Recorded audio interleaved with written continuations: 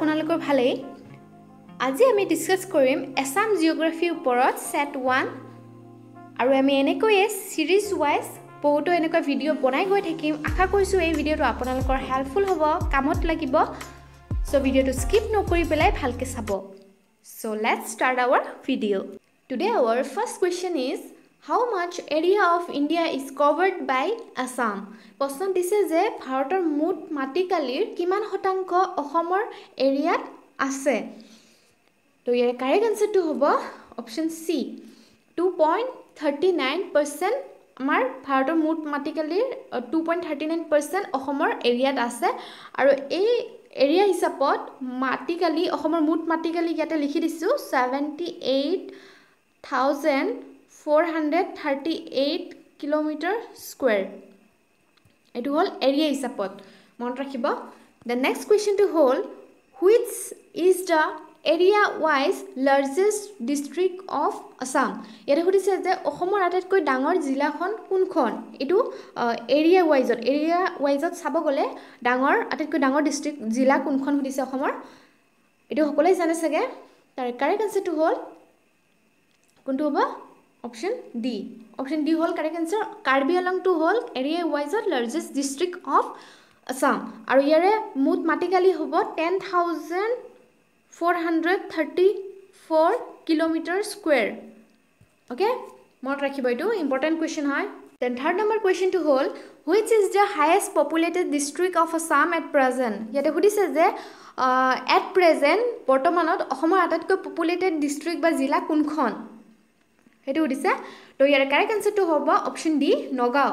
নগাঁওখনে হৈছে আটাইতকৈ অসমৰ পপুলেটেড ডিষ্ট্ৰিক্ট মানে আটাইতকৈ পপুলেশ্যন বেছি হয় এই ডিষ্ট্ৰিক্টখনত আৰু এই এইটো কাৰেণ্ট ষ্টেটাছ যিটো টু থাউজেণ্ড এলেভেন চেঞ্চাছ লোকপিয়লৰ মতে এইটো নগাঁও ডিষ্ট্ৰিক্টটো আটাইতকৈ পপুলেটেড ডিষ্ট্ৰিক্ট আৰু এইটো কুৱেশ্যনটো বহুত ইম্পৰ্টেণ্ট হয় ভেৰি ভেৰি ইম্পৰ্টেণ্ট কুৱেশ্যন হয়।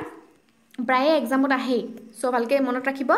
দ্য নেক্সট কুৱেশ্যনটো হ'ল which is the lowest population density district of Assam ইয়াৰে প্ৰশ্নত দিছে যে অসমৰ আটাইতকৈ কম পৰিমাণৰ পপুলেশ্যন জিলা বা ডিষ্ট্ৰিক্ট কোনখন হয়? অ'কে ডেঞ্চিটি মানে হৈছে ঘনত্ব বা পৰিমাণ। তো ইয়াতে কম পৰিমাণৰ পপুলেশ্যন কোনটো এছামৰ ডিষ্ট্ৰিক্টত হয় সুধিছে? তো ইয়াৰে কাৰেক্ট আনচাৰটো হ'ব Dima Hasao. Then question number five হ'ল per data of two thousand eleven census the total population of Assam is ইয়াতে সুধিছে যে টু থাউজেণ্ড এলেভেন যিটো লোকপিয়লৰ মতে অসমৰ ট'টেল পপুলেশ্যন কিমান হয়? সেইটো সুধিছে। তো ইয়াৰ কাৰেক্ট আনচাৰটো হ'ব option A third three crore twelve lakhs five thousand five hundred seventy six okay three crore twelve lakhs five thousand five hundred seventy six so' এইটো ইম্পৰ্টেণ্ট হয় মনত ৰাখিব নেক্সট কুৱেশ্যনটো হ'ল as per data of two thousand eleven population census the literacy rate of Assam is approximately ইয়াতে সুধিছে যে two thousand eleven চনৰ লোকপিয়ল মতে অসমৰ যিটো সাক্ষৰতাৰ হাৰ কিমান হয় সেইটো সুধিছে লিটাৰেচি ৰেট কিমান হয় সুধিছে তো ইয়াৰ কাৰেক্ট আনচাৰটো হ'ব ছেভেণ্টি টু একজেক্টলি ইয়াৰে পাৰ্চেণ্টেজ হয় seventy two point nineteen percent এইটো টু থাউজেণ্ড এলেভেন চেঞ্চাছ মতে মনত ৰাখিব। নেক্সট কুৱেশ্যনটো হ'ল what is the average height of Assam from sea level ইয়াতে প্ৰশ্ন দিছে যে সমুদ্ৰ পৃষ্ঠৰ পৰা অসমৰ উচ্চতা কিমান হয়? সেইটো সুধিছে।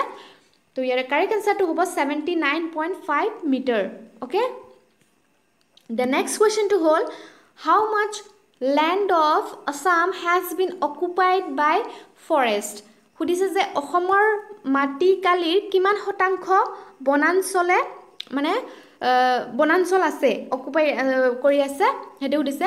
তো ইয়াৰ কাৰেক্ট এনচাৰটো হ'ব thirty four point twenty one option C is the correct answer আৰু ইয়াৰ মুঠ মাটিকালি হ'ল মনত ৰাখিব এইটো twenty six thousand eight hundred thirty two square kilometre area ৱাইজত এইটো area ৱাইজত twenty six thousand eight hundred thirty two square kilometre হয় আৰু নেক্সট বস্তুটো হ'ল the Dhola Sadiya bridge is built over which of the river given below' ইয়াতে সুধিছে যে তলত দিয়া ঢলা শদিয়া যিটো দলং আছে এই ঢলা শদিয়া দলং আছে তলৰ কোনটো নদীৰ ওপৰেদি বনোৱা হৈছে?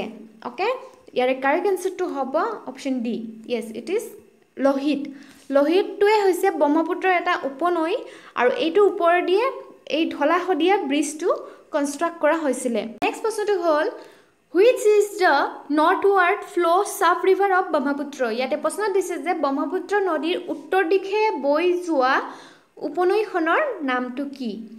তো ইয়াৰে কাৰেক্ট এনচাৰটো হ'ব yes it is option A Jhanji Jhanji এটা হৈছে উপনৈ ব্ৰহ্মপুত্ৰৰ যিটো উত্তৰ দিশে বৈ যোৱা উপনৈ অ'কে এইটো মনত ৰাখিব ইম্পৰ্টেণ্ট হয়।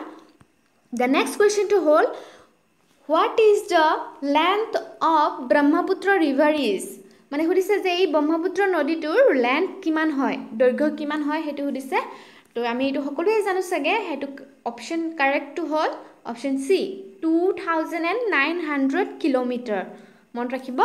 দ্য নেক্সট কুৱেশ্যনটো হ'ল what is the total length of Bogibeel bridge ইয়াতে সুধিছে যে এই বগীবিল ব্ৰিজখনৰ যিটো ৰিচেণ্ট কৰা হৈছে সেই বগীবিল ব্ৰিজখনৰ টোটেল লেন্থ কিমান হয়? টোটেল দৈৰ্ঘ্য কিমান হয়? তো ইয়াৰে কাৰেক্ট এনচাৰটো হ'ব four point ninety four option A four point ninety four কিলোমিটাৰটোৱে হৈছে total length of Bogibeel bridge অৰ্থাৎ আমি এইটো ক'ব পাৰোঁ four thousand nine hundred forty metre next question is which is the second most popular city in Assam ইয়াতে কুৱেশ্যনত দিছে যে অসমৰ ছেকেণ্ড মষ্ট পপুলাৰ চিটি কোনখন হয়?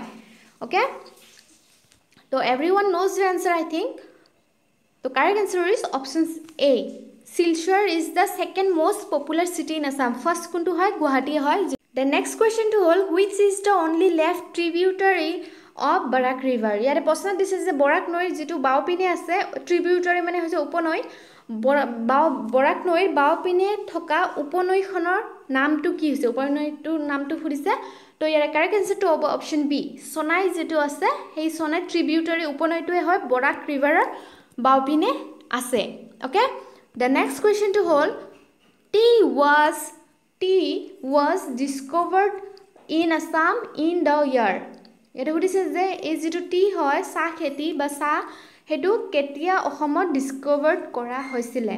তো এইটো কাৰেক্ট এনচাৰটো হ'ব option B eighteen hundred and twenty থ্ৰীত এইটি ডিছকভাৰ্ড কৰা হৈছিলে অসমত আৰু এইজনে ফাৰ্ষ্ট ব্যক্তিজনে আছিলে সেইজনৰ নামটো মই ইয়াতে লিখি দিছোঁ সেইজন হ'ল Robert Bruce.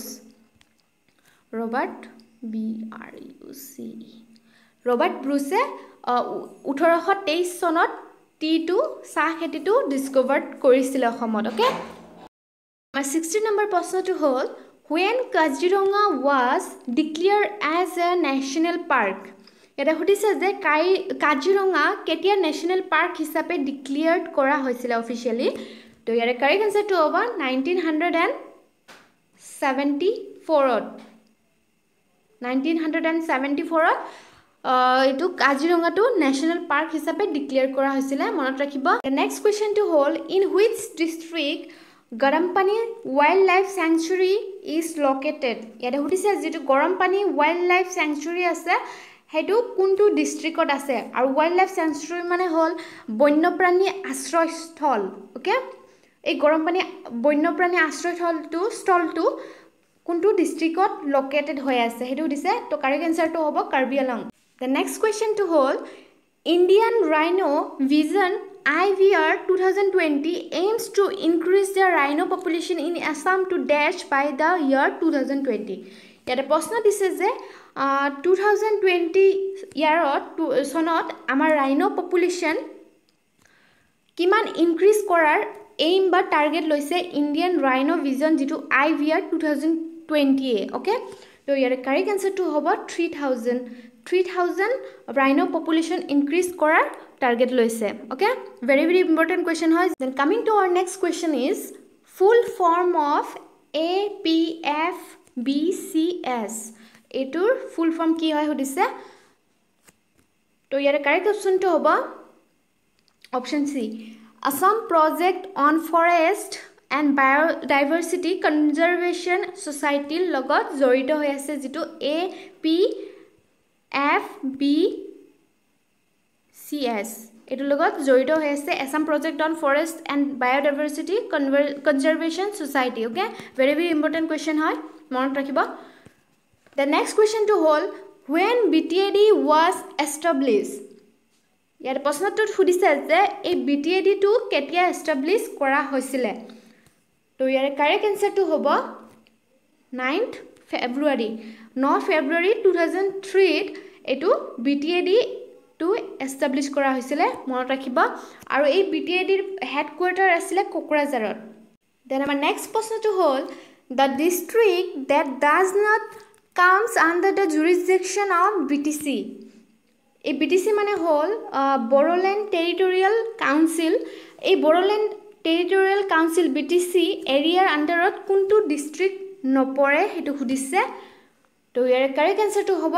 Option B Bongaigaon. এই বঙাইগাঁওটো বি টি চিৰ আণ্ডাৰত নপৰে। এৰিয়াত নপৰে। বাকী এই যিটো আছে কোকৰাঝাৰ ওদালগুৰি চিৰাং সেইকেইটা বি টি চিৰ আণ্ডাৰত পৰে। আৰু এটা কথা মনত ৰাখিব এই বি টি চি বা বড়োলেণ্ডৰ আণ্ডাৰত চাৰিটা ডিষ্ট্ৰিক্ট আছে যিটো হ'ল এটা হ'ল কোকৰাঝাৰ কোকৰাঝাৰ ওদালগুৰি চিৰাং আৰু এটা আছে যিটো বাক্সা। এইটো আৰু এটা এক্সট্ৰা আছে সেইটো হ'ল বাক্সা। এই চাৰিখন ডিষ্ট্ৰিক্ট মানে কি চাৰিখনে আছে ডিষ্ট্ৰিক্ট বি টি চিৰ আণ্ডাৰত মনত ৰাখিব।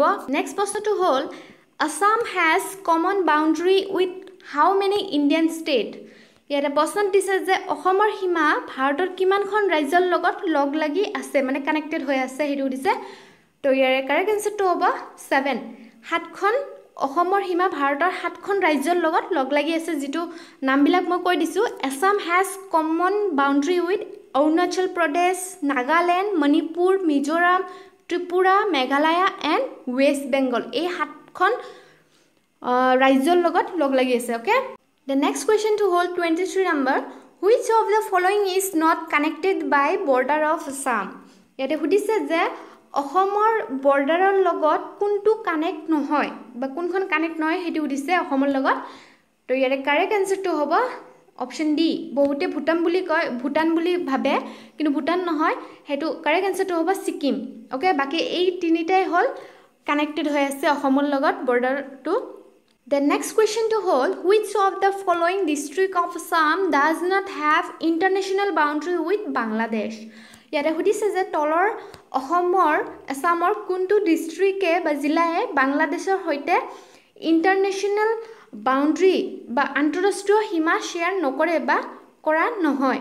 তো ইয়াৰে কাৰেক্ট এনচাৰটো হ'ব option D option D is the correct answer Hailakandi কি কৰিছে? অসমৰ হাইলাকান্দি ডিষ্ট্ৰিক্টে বাংলাদেশৰ সৈতে ইণ্টাৰনেশ্যনেল বাউণ্ডৰীটো শ্বেয়াৰ নকৰে। ভেৰি ভেৰি ইম্পৰ্টেণ্ট কুৱেশ্যন হয়। মনত ৰাখিব। প্ৰায়ে এক্সামত আহে। লাষ্ট কুৱেশ্যনটো হ'ল which is our state bird of Assam ইয়াতে কুৱেশ্যনত দিছে যে অসমৰ ষ্টেট বাৰ্ড কোনটো হয়? ইয়াতে অপশ্যন আছে duck cook white wing duck and peacock তো এই কুৱেশ্যনটো বহুত ইজি হয়। আপোনালোকে সকলোৱে জানেই চাগে। মই ভাবি লৈছোঁ আপোনালোকে জানেই। চ' এইটো মোক আপোনালোকে কমেণ্ট ছেকশ্যনত জনাব। চ' ফ্ৰেণ্ডছ ভিডিঅ'টো আজিলৈ ইমানেই। যদি ভিডিঅ'টো ভাল লাগিছে তেনেহ'লে লাইক কৰিব শ্বেয়াৰ কৰিব আৰু ছাবস্ক্ৰাইব কৰিব নাপাহৰিব। চ' থেংকছ ফৰ ৱাটছিং হেভ এ নাইচ ডে'